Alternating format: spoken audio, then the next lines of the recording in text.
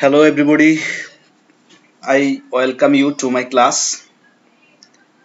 I know you all are waiting with overkeenness to join the class and I pray to God to make the situation normal. Dear students, in previous class we discussed about quadratic equation.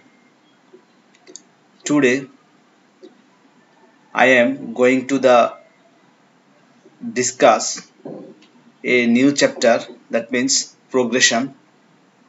I hope you will be benefited for taking the preparation and also hope the chapter is most important and you get at least 10 or 15 marks from this chapter.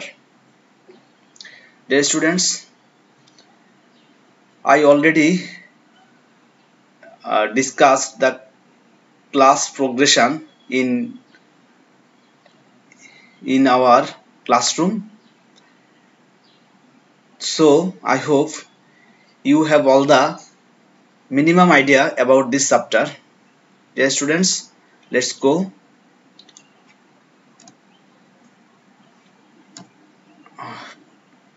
প্রগমন progression তো আমরা প্রথমেই প্রগমনের বা প্রোগ্রেশনের সমান্তর প্রগমন বা অ্যারথমেটিক্স progression নিয়ে আমরা কিছু discuss করব। যেমন যে প্রগমনে দুটি পদের অন্তর বা পার্থক্য সমান হয়, সমান থেকে সমান্তর শব্দটা আসছে, সমান হয়ে থাকে, তাকে সমান্তর প্রগমন বলে। অর্থাৎ যে ক্ষেত্রে প্রগমনে ব্যবহৃত প্রতি দুটি পদের পার্থক্য সমান বা অন্তর সমান হয়, তখন তাকে আমরা বলব সমান্তর প্রগমন। দেখো এখানে ফাইভ সেভেন এর পার্থক্য হচ্ছে টু সেভেন নাইনের পার্থক্য হচ্ছে টু নাইন ইলেভেনের পার্থক্য হচ্ছে টু ইলেভেন থার্টিনের পার্থক্য হচ্ছে টু অর্থাৎ প্রতি দুইটা পদের পার্থক্য বা অন্তর সমান থাকে। এই জন্য এই এই প্রোগ্রেশনগুলোকে আমরা বলি অ্যারথমেটিক প্রোগ্রেশন বা সমান্তর প্রগমন। এবার আমরা একটু দেখে আসি সমান্তর প্রগমনের some common rules some common rules of arithmetics progression কিছু কমন রুলস আছে। এই ম্যাথমেটিক প্রোগ্রেশন সলভ করার জন্য কিছু কমন রুলস আছে। তোমাকে রুলস ফলো করে তোমাকে ম্যাথমেটিক্যাল সলিউশন করতে হবে। রুলস না পারলে তুমি সলিউশন করতে পারবে না। যেমন আমাদের প্রথমেই সমান্তর প্রগমনের প্রথম পদকে আমরা এ বলি অর্থাৎ প্রগমনটা শুরু হয় বা স্টার্টিং যেই আইটেম থাকে বা যে স্টার্টিং টার্মস থাকে, সেই টার্মসটাকে আমরা এ বলি। সাধারণ অন্তর বা কমন ডিফারেন্স এটাকে আমরা ডি দিয়ে প্রকাশ করি, সাধারণ অন্তর কমন ডিফারেন্স বা পার্থক্য। এখানে আমরা এটা বের করি, দ্বিতীয় পদ বিয়োগ প্রথম পদ। অর্থাৎ দুইটা পদের মধ্যে প্রথম এবং দ্বিতীয় পদ থেকে প্রথম পদটা আমরা মাইনাস করব। এরপরে আমরা এনতম পদ নির্ণয় করি হচ্ছে এনতম পদ, অর্থাৎ এখানে মনে করো যদি বলে বিশতম পদ, তার মানে বিশতম পদটা আমরা কীভাবে নির্ণয় করব? এনতম এন মানে অনির্দিষ্ট বোঝায়। যখন আমরা যেই যেই পদের কথা বলে আমরা সেই পদ নির্ণয় করার জন্য এনতম পদের সূত্র বের করব, সূত্র ব্যবহার করব। যেমন a plus n n minus one into d তার মানে যদি বিশতম পদ হয়, তখন আমাদের সূত্রটা কনভার্ট করব আমরা a plus twenty minus one into d যদি তিরিশতম পদ হয়, তাহলে আমরা সূত্রটা কনভার্ট করব a plus thirty minus one into d যদি পি তম পদ হয়, তাহলে আমরা কনভার্ট করব a plus p minus one into d এভাবে আমাদের, অর্থাৎ অনির্ধারিত বা অনির্দিষ্টতম পদের মানটা আমরা এইভাবে নির্ণয় করতে পারি। দেন আমাদের সমষ্টি, সমষ্টিকে আমরা এস এন লিখি।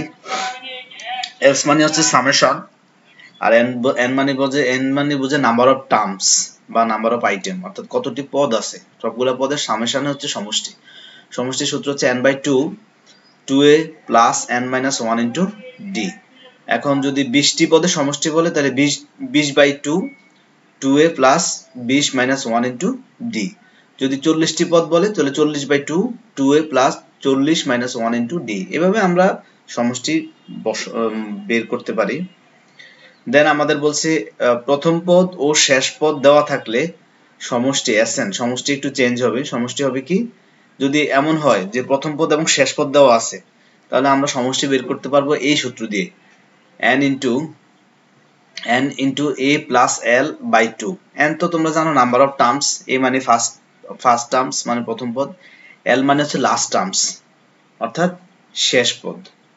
তার সাধারণ রূপ সাধারণ রূপ ইকুয়াল টু অর্থাৎ এই যে একটা প্রগমন, আমরা প্রগমনটাকে কীভাবে আমরা প্রগমনে রূপ দেব বা কীভাবে এটাকে আমরা রূপ দেব, সেই জন্য আমাদের এই এ প্রথম পদ এ হইলে পরের পদ হবে এ প্লাস ডি এর পরের পদ হবে এ প্লাস টু ডি এর পরের পদ হবে এ প্লাস থ্রি ডি তার মানে প্রথম পদ দ্বিতীয় পদে এ প্লাস ডি তৃতীয় পদ এ প্লাস টু ডি চতুর্থ পদ এ প্লাস থ্রি ডি এভাবে সাধারণ রূপ আমরা নির্ণয় করতে পারি। তাহলে a a plus d a plus two d a plus three d তারপরে এ প্লাস ফোর ডি তার মানে ফোর ডি হইলে পঞ্চম পদ হবে। এটা হচ্ছে সাধারণ রূপ। অর্থাৎ এইভাবে আমরা একটা প্রগমন তৈরি করব বা প্রগমনের সাধারণ রূপ দিয়ে আমরা একটা প্রগমন রূপান্তর করব।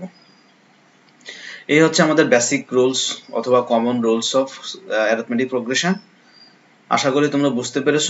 যদি এই রুলসগুলো ক্লিয়ার না হয়, তাহলে তোমরা ম্যাথমেটিক্যাল সলিউশনে গিয়ে তোমাদের সমস্যা থেকে যাবে। এখানে তোমাদের একটু অ্যাটেন্টিভলি এই রুলসগুলো শেষ করতে হবে। এরপরে যদি না বুঝো, তাহলে তাহলে অবশ্যই কমেন্টের মাধ্যমে বা মেসেজের মাধ্যমে আমাকে জানাতে পারো।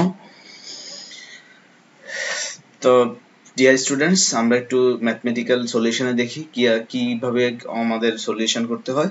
এই রুলস গুলাই নির্ধারিত, ছয়টা রুলস আছে এখানে তিনটা, আগের ফেজে আগের স্লাইডে তিনটা।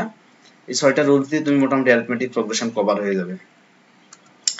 এবার দেখো যেখানে ফিফটিন থার্টিন ইলেভেন সমান্তর প্রগমনের বিশতম পদটি নির্ণয় করো। তার মানে বিশতম পদ নির্ণয় করব। এবং কতগুলো পদের যোগফল শূন্য হবে তা নির্ণয় করো।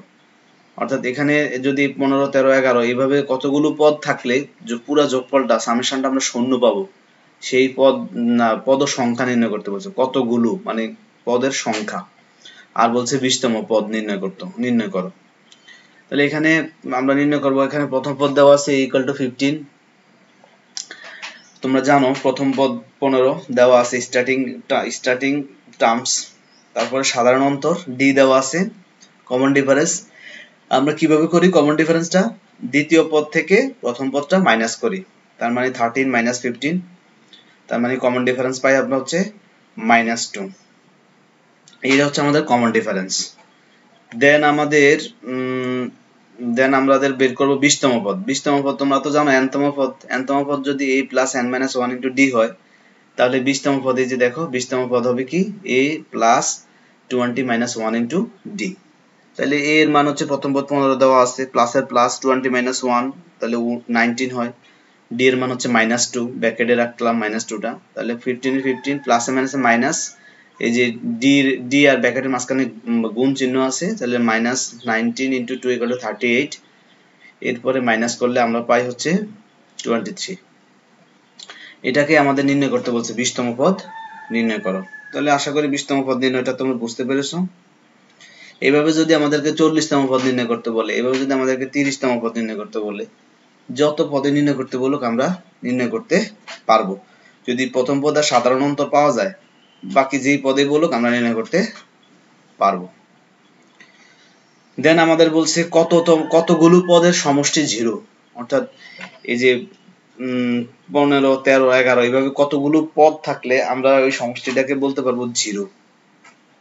তাহলে সমষ্টি মানে যোগফল, আগে যোগফলের সূত্রটা আমরা দেখলাম, লিখব, যোগফল equal to n by two two a plus n minus one into d এবার আমরা দেখব যে এই সমষ্টি ইকুয়াল টু জিরো আমরা এই প্রশ্ন মতে দিয়ে এই যে সমষ্টি জিরো বলছে না, তার মানে সমষ্টি জিরো ফিক্সড করা আছে। তাহলে আমাদের বুঝতে হবে যে এই সমষ্টিটা, সমষ্টি মানেই হচ্ছে এখানে জিরো তার মানে সমষ্টি, তাহলে কতগুলো পদ? মানে এন এর মান বের হবে।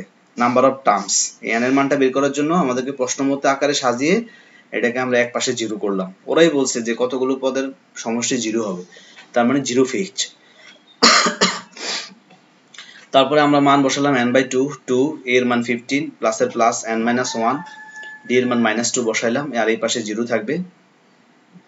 পরবর্তীতে এন মানে n বাই টু তারপরে ফিফটিন ইন্টু টু হচ্ছে থার্টিন তারপরে প্লাসে এখানে যে এই ব্যাকেটের গুণ ব্যাকেট উঠে দিতে হবে, তাহলে প্লাসে মাইনাসে মাইনাস n এর সাথে টু গুণ করলে টু n তারপরে প্লাসে প্লাসে মাইনাসে মাইনাস মাইনাসে মাইনাসে প্লাস দুই একে দুই। তার মানে এই একটা চিহ্ন, এই একটা চিহ্ন, আর এই একটা চিহ্ন। তিনটা চিহ্ন ক্রমান্বয়ে গুণ করতে হবে, যেহেতু এগুলো এখানে প্রত্যেকটা মাঝখানে গুণ চিহ্ন আছে, এই জন্য। ইকুয়াল টু জিরো করলাম, তারপরে এন বাই টু তারপর thirty two minus two n এই যে থার্টি টু মানে হচ্ছে থার্টির সাথে টু যোগ করে দিলাম থার্টি টু দেন আমাদের একটু সামনে আগাই আমরা n by thirty two minus two n এখন আমরা দেখলাম, এই যে যে টুটা যে টুটা এখানে ছিল, নিচে ছিল, এটাকে আমরা এই টু এক পাশে থাকা আর পুরাটার নিচে থাকে একই কথা। আমরা এটাকে মাঝখানে নিয়ে আসলাম।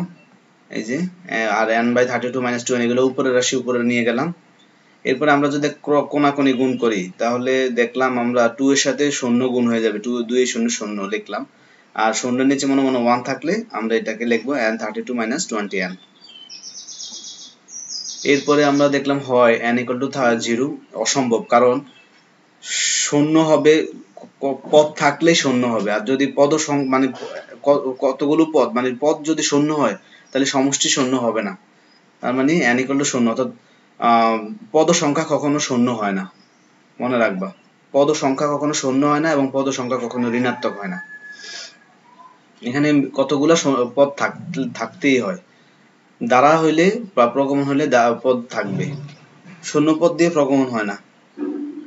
এরপরে বলছে আবার এখানে আমাদের আরেকটা রাশি থেকে যায়, যেমন thirty two minus twenty n equal to zero তাহলে থার্টি টু থেকে টোয়েন্টি এন এই পাশে নিয়ে আসলে টোয়েন্টি এনটাকে প্লাস করে এই পাশে নিয়ে আসলে, এরপরে আমরা এটাকে আবার সাইড চেঞ্জ করে টুটা যদি নিচে যায়, তাহলে ভাগ করলে আমরা পাই ষোলো।